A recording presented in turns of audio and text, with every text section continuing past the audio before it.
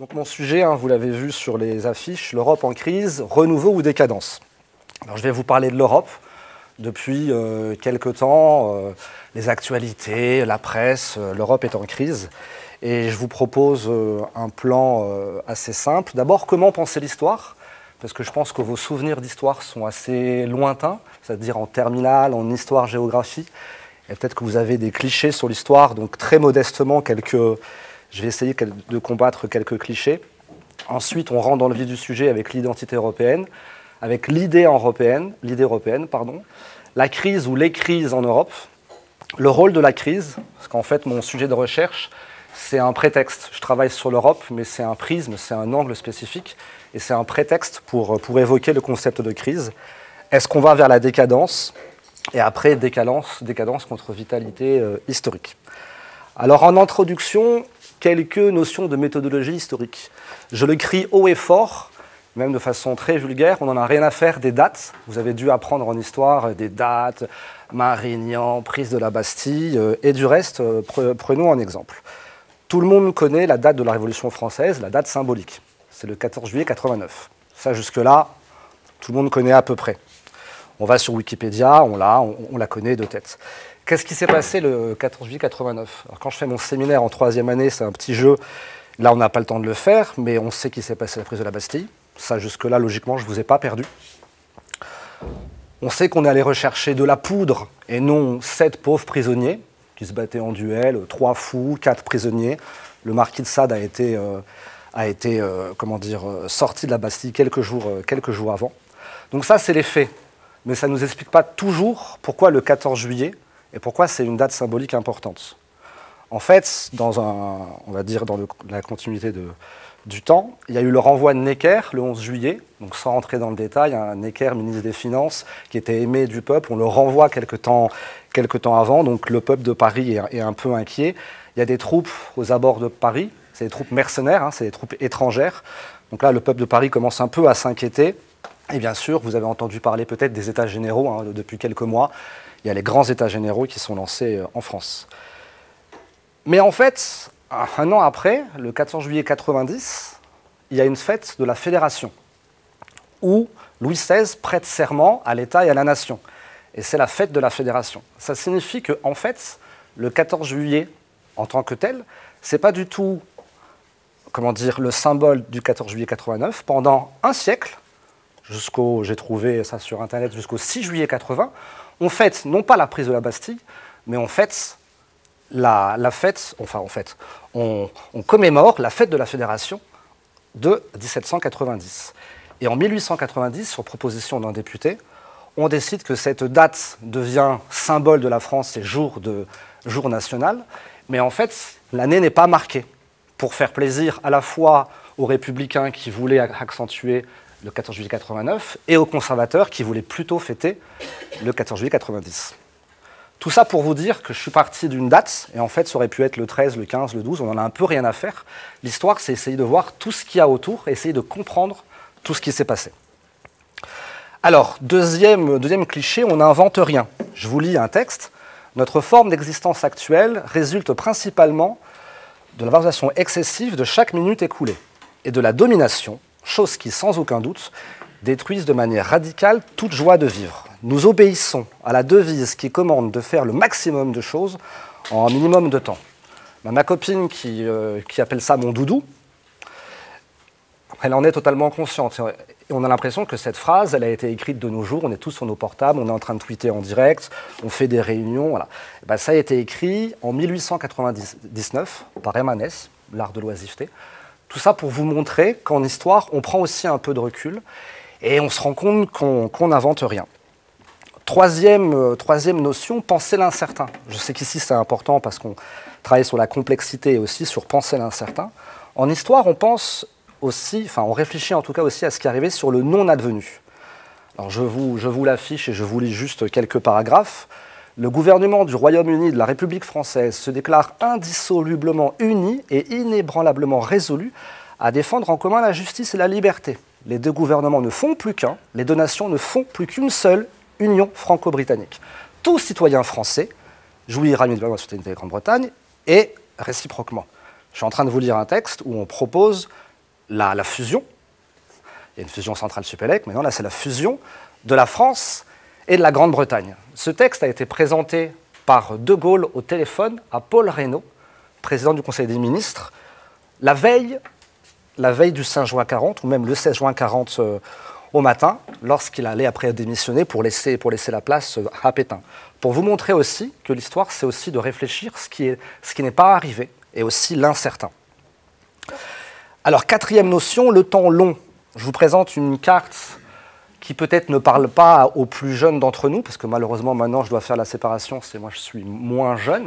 Ça, moi je l'ai appris en cours, en troisième, en quatrième. Ça, c'est la carte en 1988 où vous voyez les missiles, euh, les missiles russes, les, les, euh, les, les SS-20, et les Pershing 2 américains. Ça, c'est la carte en 1988. On est d'accord que c'était il y a 20 ans. 20 ans dans, dans l'histoire, bah, c'est même pas une respiration, c'est rien. Donc on se rend compte aussi qu'on réfléchit sur le temps long. Il y a 20 ans, c'était les missiles qui étaient, euh, qui étaient sur le sol européen. Cinquième notion des césures. En histoire, même si la césure, le fait historique ne fait pas tout, il y a des césures qu'on peut prendre en tout cas comme date symbolique. Alors j'ai voulu prendre une césure qui ne concerne pas euh, l'histoire de l'Europe. Je ne sais pas si tout le monde voit, c'est la bataille d'Actium en 31 ou d'Actium, Axiom. En 31, euh, en 31 euh, avant Jésus-Christ, César vient de se faire assassiner. Il y a Marc-Antoine d'un côté et, euh, Octave de l'autre. Octave, pardon, dit à Marc-Antoine, va voir en Égypte et va être gouverneur de l'Égypte. L'inconvénient, c'est qu'il est avec Cléopâtre et il y a une guerre entre d'un côté, en côté Marc-Antoine et Cléopâtre, et de l'autre d'Octave. Sur cette guerre, à cause du vent ou à cause du général Agrippa, qui fut un très illustre général du côté d'Octave, la guerre a tourné. Alors, ce n'est pas cette guerre qui a fait que Rome a gagné contre l'Égypte, mais ça a été une césure importante. C'est aussi pour vous montrer que parfois, il y a vraiment des césures, et l'histoire, nous, on est là pour chercher des, césures. Sixième et avant-dernière notion, attention à l'interprétation. Je vous lis les paroles de la Marseillaise très connues. Aux armes, citoyens, formez vos bataillons, marchons, marchons, quand sang impur abreuve nos sillons. Vous avez tous entendu, dis donc, quel, quel, chant guerrier, le sang impur des autres. Il doit vraiment, on est vraiment, mais qu'est-ce que c'est un chant mais criminel contre l'adversaire? Pas du tout. Quand sang impur abreuve nos sillons, c'est les gens qui sont en train de chanter ça, qui demandent que leur sang, qui est impur puisqu'il n'est pas noble, abreuve les sillons de la terre, c'est-à-dire qu'ils nourrissent leur terre. Donc ils demandent à ce que leur sang soit versé pour défendre la patrie. Voilà comment on peut interpréter ou mal interpréter aussi et l'histoire aussi est là aussi pour, euh, essayer de, clarifier les choses. Alors, cette petite introduction sur comment penser l'histoire, j'ai essayé de vous montrer qu'on problématise un événement, que l'histoire n'est pas linéaire et que ça ne donne pas à voir. Il faut aller la chercher. L'histoire s'intéresse au temps long, aux césures et aux ruptures, et à la discordance des temps.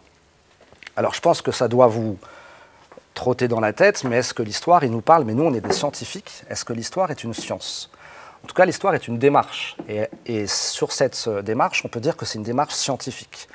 On cherche à comprendre plutôt qu'à expliquer. On n'est pas dans la causalité, on est dans la compréhension, ce qui est très différent. Elle rend lisible et intelligible, elle donne à voir, ça c'est une démarche scientifique. Il n'y a pas de jugement normatif, l'historien doit s'extraire de sa subjectivité, mais naturellement il en est conscient et c'est justement aussi un atout. Et il n'y a pas de déterminisme historique ni de relativisme historique à outrance. Le déterminisme, vous savez, c'est que l'histoire a, l'histoire, comment dire, un objectif donné, la fin du communisme, fin de l'histoire, hein, le capitalisme, et euh, c'est la fin, du train. Euh, bah, l'histoire et l'actualité nous, nous, nous rendent compte que non. Et en fait, donc, pour simplifier, une seule phrase à retenir de cette introduction l'histoire, elle parle au présent. On n'en a rien à faire de la Révolution française. Enfin, on n'en a rien à faire. Toute, euh, l'histoire doit nous permettre de rendre compréhensible le présent. Alors maintenant, on rentre dans le vif du sujet. Donc l'Europe en crise, renouveau et décadence. Moi, ma thèse, voilà, c'est un combat. Je fais un, combat entre décadence contre vitalité historique, et je vais vous montrer comment je navigue à travers ce, travers ce combat. Alors on rentre vraiment maintenant sur euh, l'identité européenne. Là aussi, je ne vais pas faire d'interaction, mais il y a quatre symboles officiels de l'Europe. Logiquement, on est tous à peu près capables de dire le drapeau européen. On est tous à peu près capables de dire l'hymne européen, la neuvième de Beethoven. La journée de l'Europe, je ne fais pas un sondage, hein, mais s'il y en a deux qui sont capables de me donner la date de la journée de l'Europe, Voilà, le, 9 mai 50. Et si, mis à part mes collègues estimés, si on a, dans, euh, si on a ici qui sont capables de nous sortir la devise de l'Europe, là aussi, je demande à voir, c'est donc je fais trop vite, pardon, c'est uni dans la diversité. Donc l'idée d'identité européenne, ce sont ces quatre symboles, en tout cas officiels. Donc au fur et à mesure de la presse, je fais à chaque fois des schémas, comme ça je ne vais, pas, vais pas vous perdre. Donc là, premier point dans le schéma, l'Europe. Qu'est-ce que l'identité d'un groupe donné? Des valeurs, donc là les valeurs européennes, démocratie, droits de l'homme, modèle social européen, une mythologie commune, on va en parler après, parce que pour construire une identité, pour construire l'Europe, il faut bien des personnages et des lieux de mémoire, une mythologie, comme il peut avoir à Centrale une mythologie avec ses fondateurs, par exemple, ou en tout cas ses lieux, ou sa statue, ou ce que vous voulez.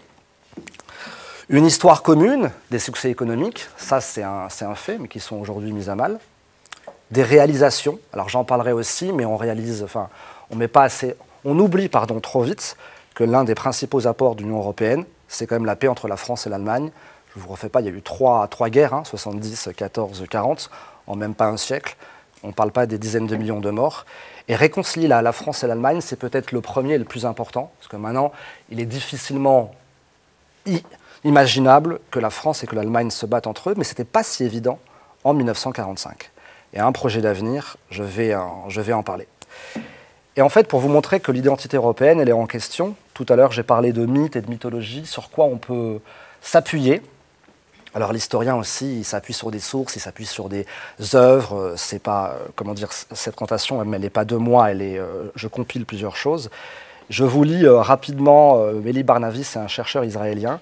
Les cathédrales et les bûchers, l'universalisme et l'esclavage, les merveilles de l'art baroque et l'Inquisition, la raison scientifique et la chasse aux sorcières, le progrès et la guerre totale, démocratie et bureaucratie, fraternité et goulag, Beethoven et Auschwitz, la répétition est voulue, hein, c'est de lui, Beethoven et Auschwitz, ainsi est l'Europe, la tête dans les étoiles et les pieds dans le sang.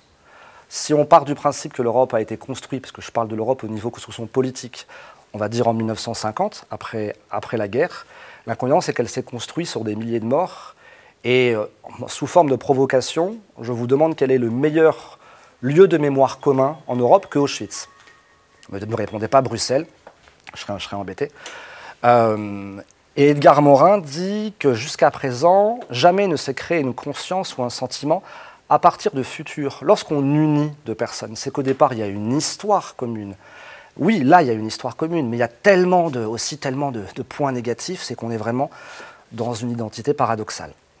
Peut-être que le, symbole européen le plus fort, mais qui est malheureusement un peu vieux, c'est celui-là, encore sur la paix européenne.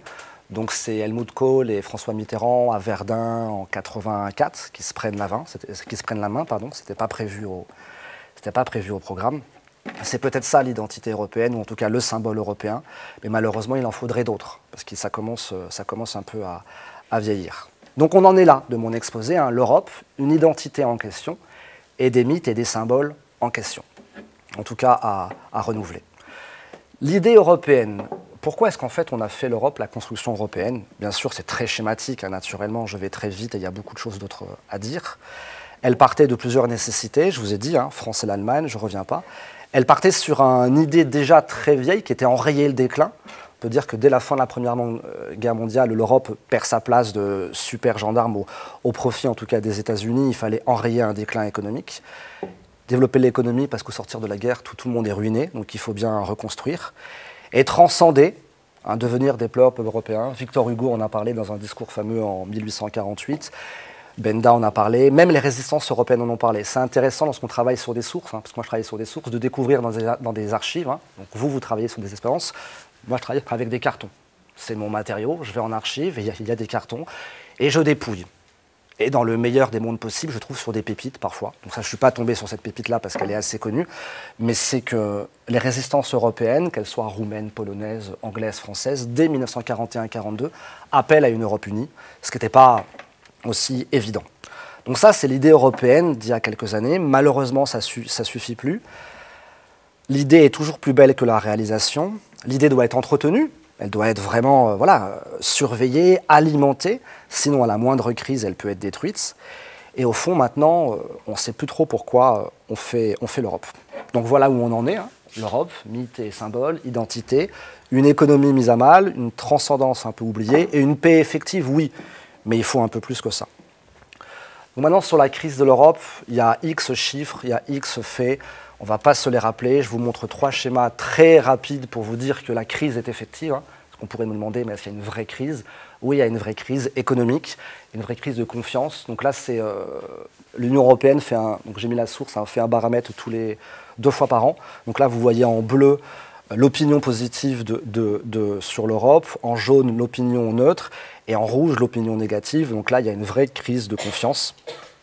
Alors je suis euh, incompétent et totalement inintéressé par l'économie, mais je montre deux, trois schémas, le taux d'intérêt des emprunts à 10 ans, vous voyez, crise des subprimes euh, en haut à, euh, droite. Bah, après, regardez la Grèce, le Portugal, il y a une vraie crise de l'économie. Je passe un peu vite parce que je trouve que ce n'est pas hyper intéressant. Taux de chômage en pourcentage, hein, je ne vous le commente pas. En bleu 2007, en rouge 2011, vous voyez où on en est. Hein. Espagne, Lettonie, Grèce, Irlande, le chômage explose. Et quoi qu'on en dise, le chômage est un indicateur d'une santé économique d'une nation, ou là en tout cas de l'Europe. Donc on en est là. L'Europe est effectivement en crise. Ah, voilà, donc ça c'est la couverture d'un The Economist d'il y a un an. Est-ce qu'on peut, faire, est peut faire quelque chose pour relever, pour relever l'Europe? La première chose que je veux vous montrer, c'est que la crise, ce n'est pas forcément négatif, et en tout cas ça fait partie d'une histoire. On peut parler de la crise du Real de Madrid, on peut parler de la crise d'un couple, on peut parler de la crise de ce que vous voulez, mais la crise fait toujours partie de la vie, si j'ose dire. Et je vais vous montrer plusieurs exemples, notamment bien sûr sur l'Europe, que l'Europe s'est toujours servi des crises pour, se relancer. Alors je vous montre plusieurs, plusieurs cycles, hein, enfin plusieurs exemples, il y en a vraiment beaucoup plus. Donc là un peu d'apport théorique, mais pour vous, peu importe les dates, mais ce qu'il faut retenir, c'est qu'il y a toujours eu une crise, une relance, une crise, une relance, et que justement la crise n'est pas forcément négative. Donc en 1945, les Europes sortent de la guerre ruinée. La France et la Grande-Bretagne sont incapables de, s'entendre sur ce qu'ils veulent mettre dans l'Europe. Donc il y a une première crise dès 1947 sur euh, qu'est-ce qu'on veut mettre dans l'Europe. Première euh, relance, la stratégie des petits pas. En fait, la France se tourne vers l'Allemagne, son ancien ennemi juré. Et le 9 mai, donc 50, déclaration Schuman, qu'est-ce que c'est en gros? C'est qu'on propose à certains pays, enfin à tous les pays européens qui veulent, de mettre en commun le charbon et l'acier communauté économique du charbon, euh, européenne pardon, du charbon et de l'acier. Pourquoi le charbon et l'acier? Parce que ce sont les deux matériaux avec lesquels on fabrique les armes et les munitions, entre autres. Donc voilà de l'échec du couple franco-britannique, l'est le couple franco-allemand. Donc une relance, mais un nouvel échec. Quelques années après, on se dit que si l'économie a marché, on va faire pareil sur la défense. La stratégie des petits pas, c'est une stratégie fonctionnaliste. Les pères de l'Europe se disaient on commence à faire petit, et comme une boule de neige, on va en venir à une vraie Europe politique, ce qui était leur vision, euh, leur objectif premier. En CED, l'Assemblée nationale française rejette la CED. C'est la catastrophe. On pense que l'Europe va s'arrêter. Euh, et en tout cas, les fédéralistes savent qu'ils ont, raté le coche. Mais euh, dès 55, on relance. On se dit bon, bah, la défense, ça n'a pas marché. On va marcher, on va continuer sur ce qui a marché, c'est-à-dire l'économie. Donc, on étend le charbon et l'acier au marché commun. Et là aussi, c'est parti, ça, ça remarche, jusqu'à ce que De Gaulle bloque plusieurs fois l'adhésion britannique, puisqu'elle a, fait une demande d'adhésion par deux fois et, De Gaulle par deux fois l'a, l'a refusé. Donc là, dans les années 60, l'Europe politique est vraiment, l'Europe pardon, est vraiment en, crise au niveau politique. Une relance, suite aussi bien sûr au départ de De, Gaulle, hein, qui démissionne euh, quelques mois avant, le sommet de la Haye, qui est la relance, et euh, un an ou deux ans après, la Grande-Bretagne euh, reviendra, euh, enfin viendra pardon, dans, l'Europe. Donc pour vous montrer en premier que les crises européennes sont inhérentes à la construction. Donc ce n'est pas forcément négatif. L'historien voilà, permet de prendre du recul, de relativiser et de rendre intelligibles les choses. Les crises européennes ont toujours fait partie. En revanche, là, en 2014, il y a une crise, mais le problème, c'est qu'on n'arrive pas à, aller au-delà de ça une chose dans ma recherche qui prend vraiment beaucoup de temps, et là j'ai failli enlever ce slide parce qu'il est assez, euh, enfin, il mérite de passer du temps, c'est sur le rôle de la crise en tant que telle. Donc là, c'est un peu plus de la, science politique, on va dire. Donc c'est un texte de Paul Ricoeur très important, écrit en 86. C'est, on, s'interroge sur les concepts de la crise. Qu'est-ce que ça veut dire en fait crise? L'historien, il est aussi là pour ça, pour réfléchir sur les mots. Le premier sens de la crise, c'est l'origine médicale.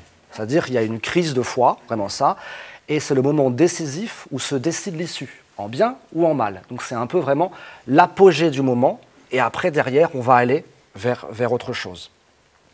C'est un état de malaise profond, hein, la crise d'ado. Je pense que ça, c'est assez clair. C'est un tournant dur à négocier, mais on n'est pas nécessairement en train de parler de destruction. On parle aussi de source de création. La crise est transitoire, et ça c'est très important. La crise est transitoire car elle, précède un changement. C'est comme la banalité, hein. après, après, la pluie, le beau temps. Logiquement, après toute crise, il doit y avoir quelque chose. Un changement qui n'est pas forcément bénéfique, mais en tout cas un changement. Et la crise, et ça euh, je vais, euh, je vais vite car je pense que vous euh, en savez plus que moi, la crise comme rupture de la continuité, le caractère discontinu de l'invention scientifique. Le progrès aussi se fait par une série d'échecs. Ne dites pas que votre expérience et votre thèse, c'est un long fleuve tranquille. J'imagine que tout le monde vit dans, dans, son labo des moments de doute, des moments de crise, ça ne marche pas. Mais justement, voilà, la crise, c'est une discontinuité, c'est transitoire, mais il n'y a aucune idée de pathologie ou de malaise. Vous voyez déjà que j'essaie de, redonner un peu de valeur au concept de crise dans ma thèse, c'est aussi un travail de source et de même euh, d'indexation et de métadonnées. Hein. si on prend la presse de nos jours, vous allumez la radio, vous parlez avec quelqu'un, quel est le vocabulaire? Quel vocabulaire sort? Vous lisez langueur, euh, paralysie, défaitisme, euh, agonie de l'imaginaire, nostalgie du passé, immobilisme, fatalisme, paresse, crise au singulier, au pluriel, la crise, une crise, des crises, un déclin une économie en déclin. Donc on est vraiment aujourd'hui en 2014 sur, euh, sur une crise. Donc là j'ai modifié euh, ce que vous voyez en bleu, non plus sur une crise économique, ce qui est déjà le cas, oui effectivement, depuis au moins 2008, mais une crise de sens qui est vraiment, importante. Alors lorsqu'on pense à, crise de sens et déclin et décadence, est-ce que c'est nouveau? Est-ce que c'est en 2014 qu'on parle de décadence? Donc là aussi une petite citation. Le plus grand danger pour l'Europe est la lassitude. La crise de l'existence européenne n'a que deux issues. Soit la décadence de l'Europe devenant étrangère à son propre sens vital et rationnel, soit la renaissance de l'Europe à partir de l'esprit de la philosophie. C'est une citation assez connue euh, de Husserl sur une conférence à Vienne en 1935. La décadence, l'idée de décadence, l'idée de crise, elle date pas des subprimes. Voilà, c'est euh, pour le dire euh, pratiquement, c'est comme ça. Elle a toujours imprégné le XXe siècle. J'en suis là. Alors, la, décadence, qu'est-ce que c'est? Pour certains, c'est Oscar Wilde. Pour d'autres, c'est le power metal scandinave. Pour moi, ça serait plutôt peut-être, en tant qu'exemple, la chute de l'Empire romain. Lorsqu'on parle de décadence, tout le monde pense à la chute de l'Empire romain. Donc je vous ai mis, je vous ai mis, euh, je vous ai mis deux dates. Deux définitions sur la décadence, et j'aimerais y passer un peu de temps. Qu'est-ce qu'on entend par décadence? Encore une fois, hein, l'historien, il est toujours en train de, triturer les mots, voyez, de décortiquer, de revenir. De... Rien n'est jamais arrêté sur les mots. Je pense que vous aussi, rien n'est jamais arrêté sur un résultat, rien n'est jamais arrêté sur une hypothèse de travail. Et nous, parfois, voilà, on triture. Et la décadence a largement été discutée, commentée, analysée euh, depuis très longtemps. Le principal sens de décadence et comment moi, je, enfin comment les gens l'emploient, c'est au niveau biologique. C'est une dégénérescence. Alors pour ceux que ça intéresse, hein, c'est un auteur euh, très très connu à l'époque, qui s'appelle Oswald Spengler, un philosophe, un philosophe allemand pardon, qui a sorti La décadence de l'Occident juste après la Première Guerre mondiale. Et pour lui, c'est une évidence, toute civilisation, là je vous demande votre attention parce que c'est un point important que j'aimerais que vous compreniez, toute civilisation est amenée, comme un être humain, à naître, à croître, à arriver à son, à son apogée, et forcément, automatiquement, systématiquement, à dégénérer et à détruire. Quelles sont les causes Pourquoi Là n'est pas le sujet de ma présentation. Mais voilà, c'est une dégénérescence au sens biologique au sens biologique du terme. Perte des valeurs, impossible de penser son histoire, paralysie, agonie, et puis destruction qu'elle soit lente ou qu'elle soit soudaine. Et des, euh, et des exemples de chute de civilisation à travers le monde, on peut en citer des quantités. Donc la plus connue, c'est la chute de l'Empire romain. Ne me demandez pas pourquoi l'Empire romain euh, a chuté. Il existe euh, 45 versions de 45 auteurs différents. Est-ce que c'était un délitement? Est-ce que c'était une perte des valeurs?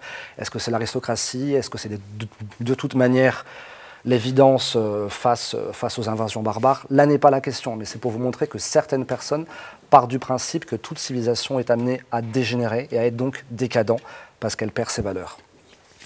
Un autre, euh, j'ai écrit en tout petit, là, c'est une historienne qui s'appelle Marou qui a, écrit un article assez connu aussi, enfin assez connu dans, le monde de, la recherche en histoire, bien sûr, c'est la décadence comme un oubli nécessaire.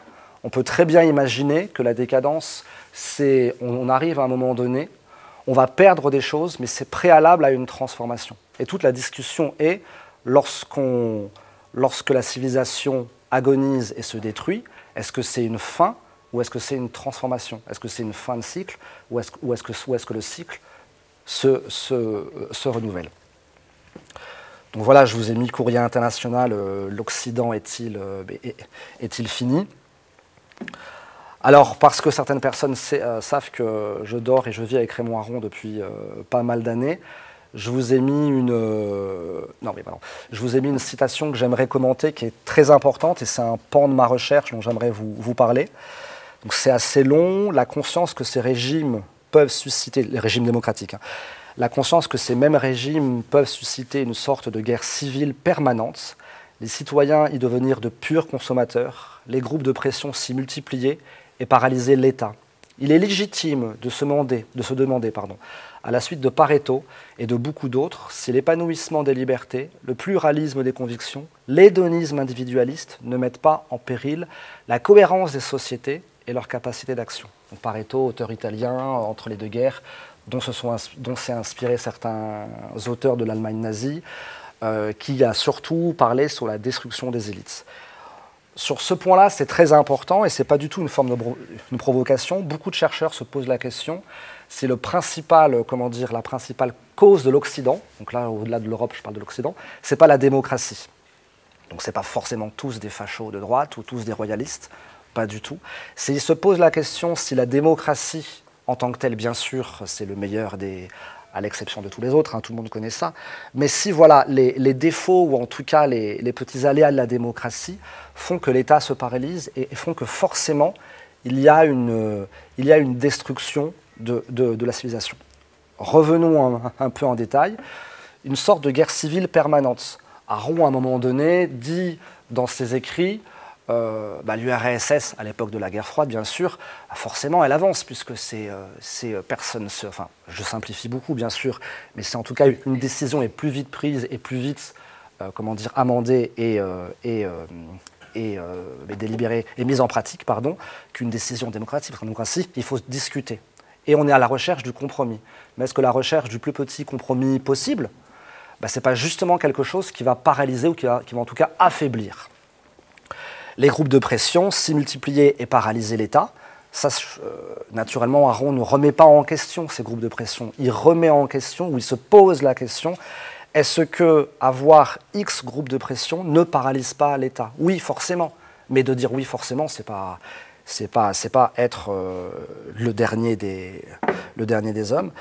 Donc il est légitime de se demander la suite de Pareto et de beaucoup d'autres si l'épanouissement des libertés, le pluralisme des convictions, et l'hédonisme individualiste ne mettent pas en péril la cohérence des sociétés. Marcel Gaucher, si vous connaissez, auteur français qui travaille beaucoup sur la démocratie, en parle aussi depuis une centaine d'années. Naturellement, c'est le droit de l'individu, c'est le droit à l'individualité, c'est moi-je. Mais forcément, quand on dit moi-je, la problématique, c'est pas forcé, mais la problématique, c'est que la société, le tout, l'ensemble peut en pâtir. L'épanouissement des libertés le pluralisme des convictions, l'hédonisme individualiste, ne mettent pas en péril surtout la capacité d'action. C'est un peu comme si dans une société, dans une entreprise, on était en parfaite démocratie il n'y avait pas un chef qui tranchait à un moment donné. Bah forcément, oui, ça paralyse. Forcément, on va vers le plus petit moteur commun. Forcément, c'est plus long. Forcément, ils sont paralysés en termes de cohérence et de capacité. Donc voilà, est-ce qu'on va vers la vie et mort, avec une faute d'orthographe, pardon, sur la mort d'une civilisation C'est une partie importante de ma, recherche. Est-ce qu'une civilisation est amenée forcément à mourir ou si, euh, euh, si elle est amenée à se recycler? Alors, qu'est-ce qu'on fait de la décadence après avoir dit tout ça? Est-ce que c'est un concept opératoire? Un concept opératoire en histoire, c'est quelque chose qui nous permet de... C'est comme un levier. Je m'appuie dessus pour travailler. C'est une grille de lecture. Je ne dis pas que c'est bien ou pas bien. Je dis qu'il est légitime de prendre la décadence comme concept opératoire pour, bah, travailler, pour décortiquer un peu. Donc c'est un jugement moral hein, et non un jugement de, de fait. Voilà, mais c'est ce que je dis, la décadence est opératoire, c'est une médiation sur le sens de l'histoire. Au 19e, tout le monde parlait du, positivisme et la notion de progrès. Début du 20e aussi, mais à partir de la Première Guerre mondiale, qui a été vraiment le, choc, enfin, on ne réalise pas comme la, Première Guerre mondiale a été un choc pour les gens, dans les millions de morts. Donc on peut s'autodétruire, beaucoup plus, enfin beaucoup plus. Tout le monde a, bien sûr en, tête la Seconde Guerre mondiale, mais la Première Guerre mondiale a vraiment, a vraiment été un choc. On peut s'autodétruire et on est en train de décliner parce que nous, Europe, on est en train de s'autodétruire. Donc oui, c'est une médiation sur le sens de l'histoire. Elle agit comme un repoussoir, et surtout, elle imprègne la, pensée européenne, vraiment, depuis le, 19e et, jusqu'à maintenant. Alors voilà où est-ce qu'on en est. C'est bientôt, euh, j'arrive presque à la fin. Voilà où est-ce qu'on en est. Hein, sur, je suis parti de l'Europe, crise économique, le rôle des crises. La décadence, est-ce que c'est une médiation? Est-ce que la démocratie est décadente? C'est une petite partie, euh, je n'ai pas voulu euh, détailler plus. Est-ce que c'est la fin de l'histoire? Est-ce qu'on arrive, voilà, est-ce qu'on est de toute manière euh, amené à être décadent Alors on espère que non, parce que l'homme a une capacité de réinvention insoupçonnée. L'humanité n'avance qu'en se vouant au problème qu'elle est incapable de se résoudre. Je trouve que c'est plutôt une belle phrase. C'est Marcel Gaucher. Un petit point sur Marcel Gaucher, pour ceux que ça intéresse, il travaille beaucoup sur les, problématiques de la, démocratie en 2014, légitimisme des opinions, euh, protestation et, euh, révolution. Il dit à force de faire des manifestations, on proteste, mais, mais voilà, mais c'est pas, on fait, on fait ni des, ni des révolutions et c'est loin d'être euh, constructif. Alors, pour revenir, et c'est vraiment ce que j'aimerais, c'est peut-être le slide le plus important, c'est en fait au travers de l'Europe. Hein, je vous parle plus de la crise que de l'Europe. L'Europe, c'est un prétexte lorsque je fais mes recherches, voilà, euh, je suis européen convaincu et je le prends comme un prétexte, mais je travaille plus sur le, rôle de la crise. Donc la crise, elle est consubstantielle. Si on la remplace par tension, c'est l'acte de choisir. Mais à un moment donné, il faut choisir. À un moment donné, il faut avancer. Je vais vous parler de l'Europe en 2014 dans le dernier slide. La crise, elle est ici comme, euh, comprise pardon, comme action de jugement. La crise est alors l'acte de trancher. Et en s'identifiant à une cause qui nous transcende, c'est-à-dire qui dépasse notre capacité, notre, qui, nous dépasse nous en tant qu'être humain, on va vers un engagement, et alors c'est une véritable sortie de crise. Et là, c'est Paul Ricoeur qui dit La crise naît ainsi au carrefour où l'engagement est en lutte avec la tendance à l'inertie, à la fuite et à la désertion. Et l'Europe en 2014, au sens de sens politique, de vision, d'avenir, de rêve, mettez tous les qualificatifs que vous voulez au travers ça, elle est vraiment en lutte avec l'inertie, avec le fatalisme, avec la, avec la fuite et avec la, et avec, la, vers, la, vers la désertion. Et donc avant-dernier slide où je, résume, euh, où je, résume à peu près tout ce que j'ai voulu vous dire, hein. je suis parti d'abord de, de l'identité européenne et de l'idée européenne, euh, je vous, rappelle rapidement, la paix est une chose effective, mais c'est plus nécessaire, hein, dans le sens où ça y est, on y est arrivé, mais maintenant il faut aller au-delà. La transcendance, c'est-à-dire le sentiment européen, il est quand même très très mal, euh, il est quand même très très mal engagé actuellement. Euh, pourrais, enfin, on pourrait discuter de, la, poussée des, partis d'extrême, droite en tout cas, sur le sentiment européen on n'a jamais, enfin les pères de l'Europe n'ont jamais réussi à faire naître un véritable sentiment européen. Peut-être que pour avoir un sentiment européen, il faut que ça nous touche. L'Europe de la culture, l'Europe du sport, l'Europe de voilà, ça existe, mais malheureusement trop, trop, trop morcelé. L'économie, si c'était un des plus grands succès, hein, parce qu'on ne se rend pas compte, mais en 1945, l'Europe est ruinée. Quand je veux dire ruinée, c'est-à-dire des ruines au sens propre et au sens euh, figuré. Et euh, fin des années 60, elle devient, elle devient vraiment un candidat et un concurrent euh, très très important des États-Unis. Maintenant, il y a bien sûr. Euh, euh, L'Europe, c'est encore le plus grand marché mondiale au, sens propre du terme, mais l'économie va mal. L'identité, on en a parlé, hein, l'identité européenne en question. Moi, ben, dans mon séminaire en troisième année, je fais un jeu. Sortez, je dis aux élèves, sortez-moi un lieu de mémoire, une personne, une date, et me dites pas Charlemagne, 9 mai 50 et Auschwitz. Dites-moi autre chose. quel est le mythe en 2014 de l'Europe? Euh, c'est le moine au XIIe siècle qui faisait tous les monastères? C'est quoi? C'est l'Inquisition? C'est le, roman européen? Qu'est-ce que c'est? Bah, C'est quand même très difficile à, à, trouver. Je vous ai montré que durant la construction européenne, les crises étaient inhérentes à la construction et qu'on avait toujours des relances. L'inconvénient, c'est qu'en 2014, la relance, elle se fait, elle se fait, elle se fait attendre. Qu'il y avait une crise économique et une crise de sens, donc le rôle des crises un rôle pas forcément négatif. On pouvait aller vers la décadence, démocratie ou médiation, mort d'une civilisation. Donc là, on en est là. La crise de sens, c'est aussi, voilà, il faudrait un acte de choisir et l'engagement. Et est-ce qu'on est sur une crise sans fin? Je l'ai rajouté un quart d'heure avant euh, tout à l'heure. C'est un auteur que je suis en train de lire et qui est très intéressant et qui indique que le gros problème de l'Europe actuellement et de la crise, c'est que tous les jours aux infos, on parle même pas d'une crise. On parle de la crise. Je ne sais pas si vous voyez le changement de vocabulaire. Une crise, c'est un temps, un début et une fin. On sait qu'il va avoir quelque chose. Maintenant, la crise, c'est comme si c'était un état d'esprit. Bah oui, vous savez, on est en crise. Et ça alimente et, ça argumente tout. Et donc, c'est une crise sans fin. Il n'y a même pas de, de vision d'avenir. On va en sortir, mais quand, comment, pourquoi Voilà. Est-ce que c'est la crise sans fin? Et donc, l'acte de choisir et l'engagement, là, j'avais mis une petite couverture aussi de économiste. Qu'est-ce qu'il faut faire? Et euh, ce que dans, ma thèse, je montre aussi, hein, pour finir quand même sur une note positive, ça fera plaisir à Pierre Emerick qui m'avait dit quand même sois positif, euh, Olivier, à, la fin de ton présentation, c'est que tout est à faire parce que tout est possible. Et on parle de vitalité historique. La vitalité, c'est la possibilité de dire je, de penser son histoire. Et Raymond Aron et d'autres s'appuient sur Machiavel, non pas sur Machiavel, le prince comme tout le monde connaît, mais sur son opposition entre la vertu et la fortune, pour ceux qui connaissent. La fortune, c'est le hasard. La vertu, c'est la capacité à choisir, à modifier, à décider, à aller au-delà. L'histoire est tragique, dans le sens propre du terme, on en est tous d'accord, mais il faut avoir, il faut être vertueux, enfin pas dans le sens vertueux au sens moral du terme, hein, bien sûr que non, mais il faut avoir la capacité à avoir une vitalité historique. Et donc toute ma recherche, c'est le balancier, on va dire, hein, c'est le va-et-vient l'Europe au milieu, entre le marteau et l'enclume, entre la décadence et la vitalité historique. Alors, penser la complexité, donc l'histoire doit parler au présent. Euh, j'ai bien conscience hein, que tout ça, dans trois jours, euh, tout le monde aura oublié et c'est pas ça l'intérêt.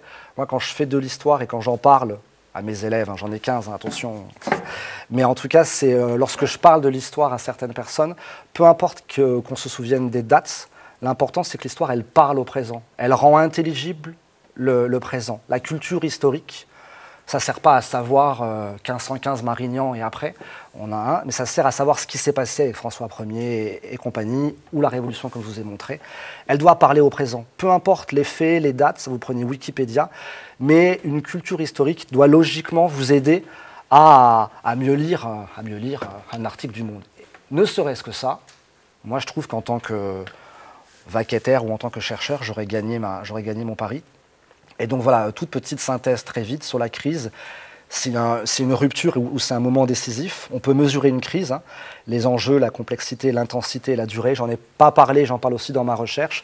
Mais en 2014, on peut être conscient qu'on parle d'une crise vraiment complexe et intense avec de, de graves enjeux. Et mon trio, avec qui je me balade tout le temps, c'est la crise, la décadence et la vitalité historique. Merci.